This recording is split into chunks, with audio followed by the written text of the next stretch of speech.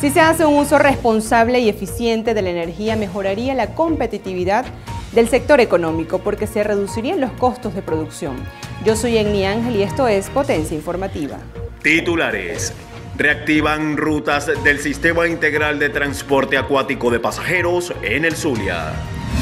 Vicepresidente sectorial Reverol llama a la participación en el referendo consultivo en defensa del Esequibo.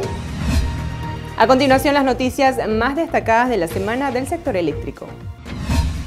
Hemos puesto al servicio del pueblo del Zulia dos embarcaciones que están a mi derecha, Dianca 2 y Dianca 3, con capacidad de 110 pasajeros, saliendo para los puertos de Altagracia, saliendo para Cabima.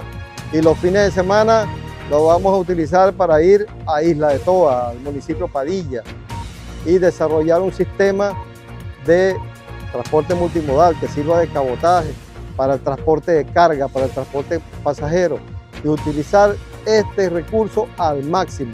Durante su visita al Zulia, los integrantes de la Comisión Presidencial para el Rescate, Conservación y Desarrollo Sostenible del lago de Maracaibo también constataron el saneamiento en 100% de las playas de la parroquia El Bajo, municipio San Francisco, a través de un trabajo mancomunado entre el Ejecutivo Nacional y el Poder Popular. Igualmente, pusieron en marcha un conjunto de obras de infraestructura que contribuirá con el buen vivir de la población de Isla de Toas.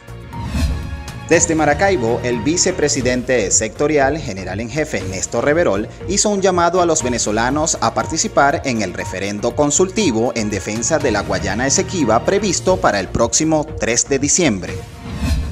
Al ritmo de parrandas y villancicos, la Fuerza Trabajadora del Sector Eléctrico dio inicio a la Navidad 2023 en las sedes del Ministerio para la Energía Eléctrica y de Corpoelec en el Marqués. Esto con el despliegue de al menos 40 emprendedores que ofrecieron sus productos típicos de esta temporada. Hemos llegado al final de Potencia Informativa. Recuerda que estas y otras informaciones podrán ampliarle a través de nuestras redes sociales.